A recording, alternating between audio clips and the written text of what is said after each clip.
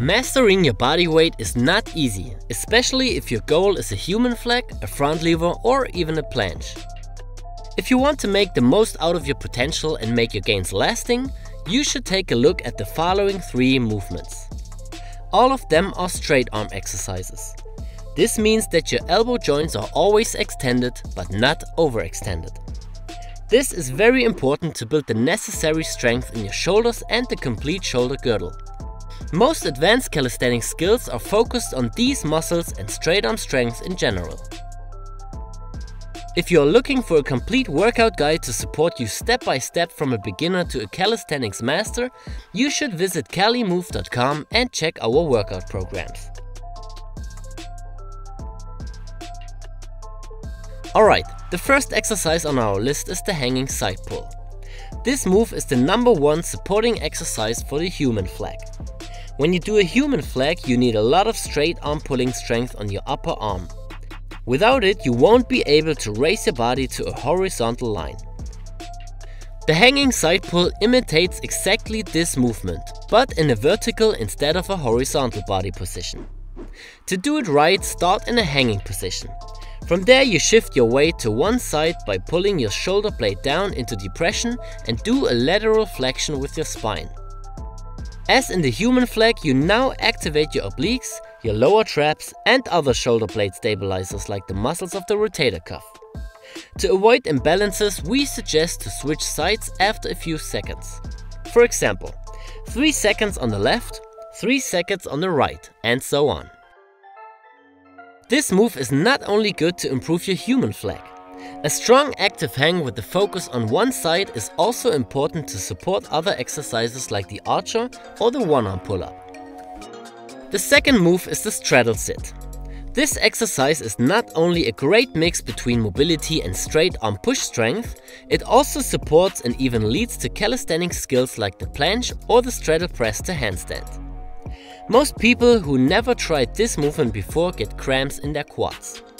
Don't worry if this happens to you.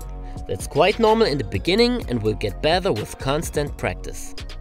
It's still possible to make this movement easier if the mobility part is the greatest issue.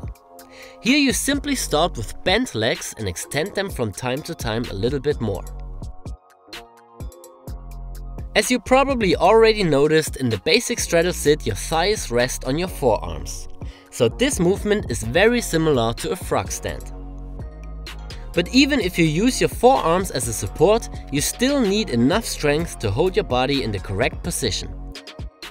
Never fall into your structures and always aim for a cat-like rounded back.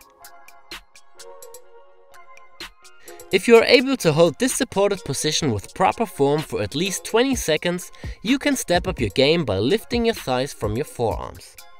The stronger you are, the more you can lift your body. At this point you can use this exercise as a direct skill training for the planche and for the press to handstand.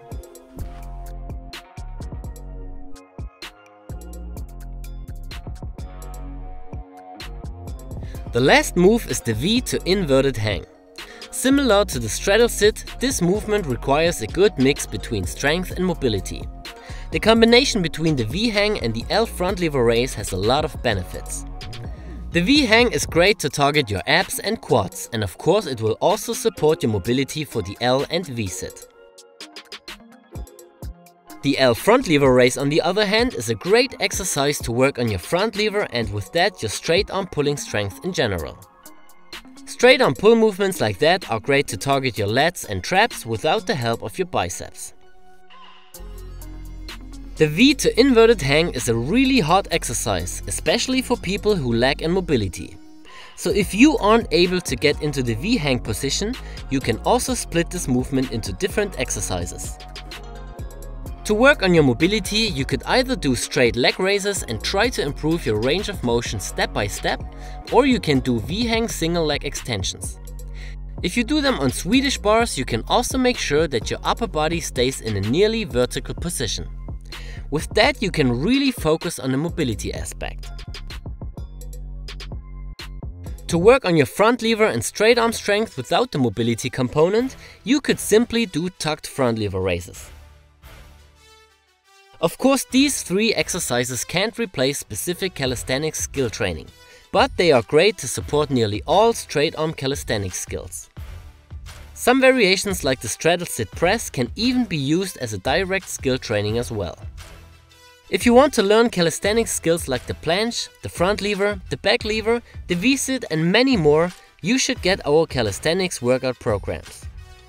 The full package comes with 5 levels and is a step-by-step -step guide to become a calisthenics master. Of course you get all the important details a good workout program needs. And you also don't have to worry about the right programming, the exercise selection, the amount of reps and sets, the correct rest times and many more. So no matter if you are an absolute beginner or an advanced athlete, our complete calisthenics programs are the right choice for you. If you now want to know more details about the programs, just visit calimove.com. I'm Alex and I see you in the next video.